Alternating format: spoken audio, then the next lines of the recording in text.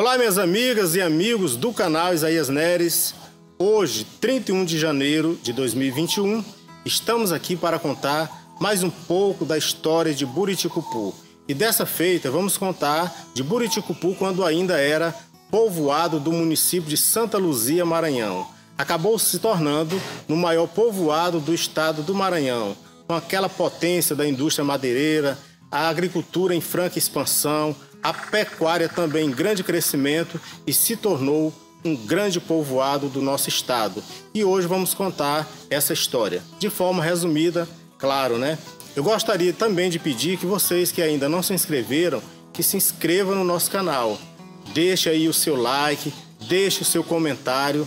Isso é muito importante para o crescimento do nosso canal. Muito obrigado e acompanhe agora a história do maior povoado do estado do Maranhão. Na década de 70, o Maranhão havia sido palco dos maiores casos de invasão de terras camponesas, grilagem e todo tipo de violência rural, se tornando em uma das maiores grilagens de terras do Brasil, numa área de aproximadamente um milhão e meio de hectares, conhecida como Grilagem da Fazenda Pindaré. O trabalhador rural maranhense foi obrigado a trabalhar como peão nos empreendimentos agropecuários, buscando alternativas e sobrevivência. Por isso, houve um alto índice de conflito agrários. O povoado já não era apenas uma agrovila com 83 famílias, com algumas casas de madeira dos servidores da Comarco ou simples casas construídas de barro dos antigos colonos. Frequentemente chegavam novos moradores vindo de várias regiões do Maranhão e até de outros estados atraídos principalmente pelas terras férteis e pela fartura de recursos vegetais. Nesse período, não chegavam apenas trabalhadores rurais à procura de terras para trabalhar. Vinham também profissionais madeireiros, carvoeiros e, infelizmente, pistoleiros contratados por latifundiário da região. As grandes fazendas que se estabeleceram na região foram Cacique, Grupo Nunes, Três Irmãos, Triângulo de Prata, Mapisa, Sambra, Siquel, Terra Bela, Verona, Faísa, Capoema, União Portugal e Lago Azul. Com relação à educação, embora o governo do estado tivesse investido um razoável montante de recursos na área, a deficiência do setor era notória. Diante das circunstâncias, em 1986 surgia a primeira alternativa de ensino particular. Era implantada a pequena escola denominada de Emancipação, que tinha apenas duas salas de aula e uma secretaria. Era construída de tábuas e oferecia apenas a primeira fase do ensino fundamental, antigo primário. A mesma foi implantada pelo professor Ariel Costa Primo. A ocupação da fazenda Terra Bela, 1988. No Maranhão, a maior parte das terras, especialmente Buriticupu, pertencia a grandes latifundiários. Grandes extensões de terra concentravam-se nas mãos de poucos donos enquanto muita gente não possuía sequer um pedaço de chão para produzir seu próprio sustento. As terras de Buriticupu, comprovadamente, estavam entre as mais férteis do Maranhão. Um líder camponês chamado Luiz Soares Filho, o Vila Nova, resolveu encarar o problema agrário no Maranhão, começando em Buriticupu, onde existia o maior número de latifundiários do estado. Iniciava-se assim para valer uma luta armada. A Fazenda Terra Bela, de propriedade do pecuarista Fernando Brasileiro, seria a primeira de dezenas de fazendas a serem ocupadas. Com as ocupações da terra pelos pequenos produtores rurais, Buriticupu começava a viver outra realidade socioeconômica. Iniciava-se, naquele período, uma grande arrancada para o crescimento populacional. Por outro lado, um grande número de homens deixava suas famílias rumo ao estado do Pará para aventurar a sorte, principalmente nos garimpos da Serra Pelada. Naquele período, Luiz Villanova estava no auge da sua popularidade e assim não foi difícil trazer ao povoado o maior líder sindical e político da época, Luiz Inácio Lula da Silva. A visita a Buriticupu ocorreu no dia 16 de abril de 1994, sob um sol escaldante do meio-dia. Em frente ao antigo posto iguátio presidenciável Luiz Inácio Lula da Silva, esteve naquela ocasião com uma grande comitiva. O vizinho município de Santa Luzia aos poucos começava a adotar o povoado de Buriticupu. Como o antigo projeto de colonização não recebia mais investimentos do Estado, era necessário que a administração municipal assumisse as responsabilidades para com o povoado, já que a colonização havia sido implantada dentro do território do município de Santa Luzia. No povoado de Buriticupu já havia mais de 10 mil eleitores. Caminhões com mudanças eram vistos com frequência chegando à localidade, mas também pudera produção agrícola em alta, madeira abundante e fácil, comércio em franca expansão. Para os viajantes que precisassem de hospedagem, já existia o dormitório Guanabara. Esse era o primeiro da localidade. Para os amantes do futebol, já havia o Beck, que era formado por muitos jogadores habilidosos. Para quem precisasse realizar uma ligação telefônica, havia orelhão no posto da Telma, Telefonia do Maranhão. Foi criado pelos pequenos comerciantes o setor que foi denominado Chega Mais e ficava às margens da BR-222. Ainda na década de 80, Buriticupu teve alguns prejuízos, como foi o caso do núcleo residencial da Vale, que deixou de ser construído em Buriticupu por falta da doação de uma área pelo projeto de colonização. O mesmo foi implantado no vizinho povoado da Verona, no atual município de Bom Jesus das Selvas. O outro grande prejuízo foi o não funcionamento do colégio agrícola para formar os filhos dos colonos em técnicos agrícolas. O empreendimento foi construído pelo governo federal e que, apesar de ter sido concluído, nunca entrou em atividade, pois boa parte dos seus equipamentos foram roubados e em seguida as dependências foram abandonadas. Buriticupu, o maior povoado do Maranhão.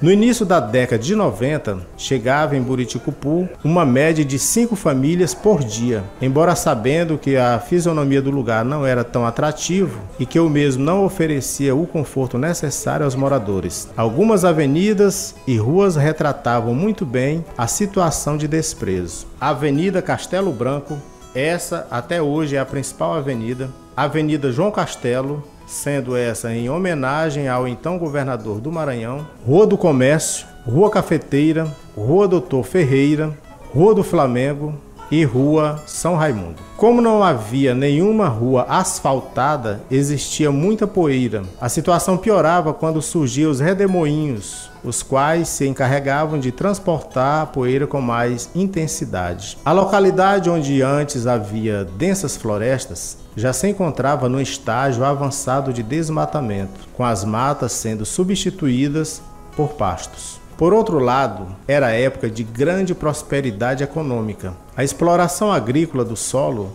resultou na produção de toneladas de cereais que saíam do povoado para várias partes do Nordeste. Moisés Medrado de Assis, um dos pioneiros como colono na localidade, surgia como o maior cerealista da região, ocasião em que o resultado da agricultura batia recorde no estado. De igual modo acontecia com as numerosas indústrias madeireiras que se instalaram na localidade, empregando centenas de pessoas e distribuindo inúmeros metros cúbicos de madeiras beneficiadas para quase todo o Brasil. Por fim, Outro fator que contribuiu para o grande progresso econômico experimentado pela região foi a sua excepcional vocação comercial, que atraía uma massa enorme de pessoas oriundas de várias regiões do estado. Naquela época, o povoado já tinha condições para sua autossustentação, apesar da desorganização urbana. Estrategicamente localizado às margens da rodovia federal BR-222, banhado pelos rios Buriticupu e Pindaré,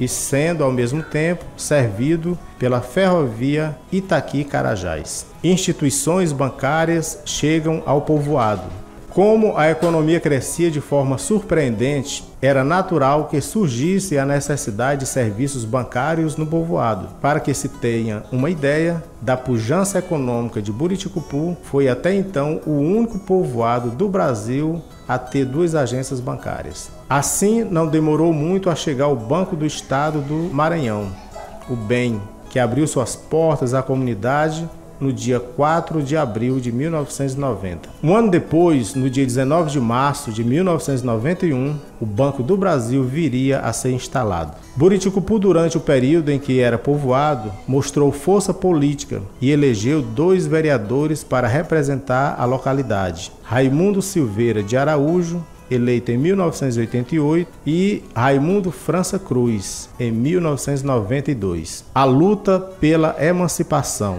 Começa o sonho da emancipação. Lideranças impulsionadas pela vontade de ver o progresso da região começam a se unir num só objetivo: o de sensibilizar as autoridades políticas estaduais para a necessidade de emancipação política do maior povoado do Maranhão à época. Assim, as lideranças locais começaram a trabalhar foram dias de muitas caminhadas no distrito de Buriticupu e nos demais povoados. Através de plebiscito, a população decidiria o destino de Buriticupu, tornando município ou não. O resultado do plebiscito foi positivo. O povo de Buriticupu, de forma voluntária, foi às urnas e disse sim a sua emancipação. Havia naquela época 35 sessões de votação, 10.084 eleitores, 6.229 votaram, 3.855 deixaram de comparecer às sessões. Votaram a favor da criação do município, 6.034 eleitores, enquanto 86 votaram contra a emancipação. 65 votaram em branco e 44 anularam seus votos. A criação do município. Os deputados estaduais Antônio Carlos Braide e Osés Rodrigues elaboraram requerimentos solicitando a criação do município de Buriticupu. Após muitas discussões, os requerimentos foram transformados em projeto de lei que, depois de votado e aprovado na Assembleia Legislativa, foi sancionado pelo então governador Dr. José de Ribamar Fiquene. O prefeito de Santa Luzia, Antônio Brade, precisava de alguém para representá-lo no distrito de Buriticupu e assim escolheu o líder comunitário Simar Pereira Pinto para representá-lo, sempre contando com seu auxiliar, o agente de saúde Gildan Medeiros. O líder foi acometido de uma enfermidade que acabou por lhe ceifar a vida. Sima Pinto faleceu no dia 29 de setembro de 1995, aos 48 anos de idade. Assim, Gildan Medeiros assumiu a representação do povoado, conquistando em pouco tempo a confiança do prefeito de Santa Luzia, Antônio Braide. Buriti era um lugar cheio de problemas sociais dos mais diversos tipos, dentre os quais a falta de água continuava castigando os moradores. Buriticupu, conhecida como terra sem lei, Sempre houve problemas na área da segurança pública em Buriticupu, mas a partir do final da década de 80, com a chegada de muitos migrantes atraídos pelas terras agricultáveis e pelo movimento do setor madeireiro, a situação se agravou mais ainda. Vários acontecimentos já haviam acontecido em Buriticupu: assassinatos, assaltos a banco, tráfico de drogas, roubo de carga, dentre outros. A fama era tão ruim que muitos funcionários designados a trabalhar na localidade se recusavam. Outras pessoas temiam até mesmo passear em Buriticupu, devido à situação insegura e o ambiente hostil do lugar. Quão difícil também era motorista de ônibus aceitar transportar passageiros para Buriticupu.